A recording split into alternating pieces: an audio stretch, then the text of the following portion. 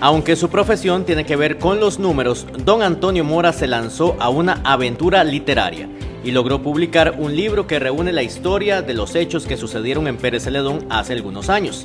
Esta producción se llama Crónica de un bono comunal. A raíz de que hace cinco años pasaron, pasaron muchas eh, cosas acá en el Cantón de Pérez Celedón referente a lo que era un bono comunal en la comunidad de Lomas de Cocorí, referente también a que había un cierre del batadero de basura y muchas luchas que se dieron a nivel comunal, entonces nació la idea de, escribir un poco las historias que pasaron en ese momento, ¿verdad? Porque hay mucho que contar, mucho se dice, ¿verdad? Pero cada quien tiene su punto de vista, entonces yo quise plasmarlo en un libro.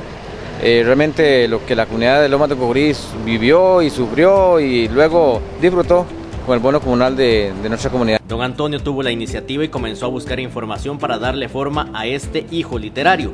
Haciendo un poquito de memoria, buscando algunos eh, recortes eh, ahí también de algunos periódicos de acá este, cantonales y nacionales.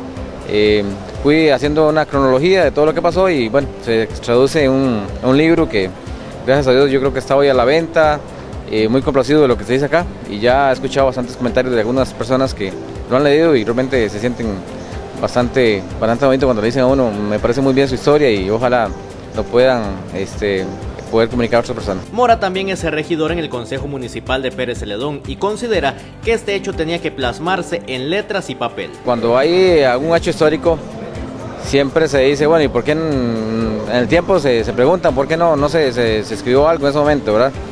Yo creo que nosotros, bueno, el caso mío fue, fui un partícipe directo del proceso y tenía ese momento más fresco lo que estaba pasando, entonces lo que hice era como dejar eh, plasmado en el tiempo. Más de un año duró escribiendo la crónica de un bono comunal y hasta el momento dice que muchas personas mostraron la aprobación a esta obra. Cerca de año y medio, año y medio haciéndolo y, y sí, bueno, y un medio año haciendo ya la parte editable, editable y, y hoy en día tenemos el, librito ya en su forma. Un libro que reúne un momento histórico que se produjo hace cinco años en Lomas de Cocorí, en el cantón de Pérez Celedón.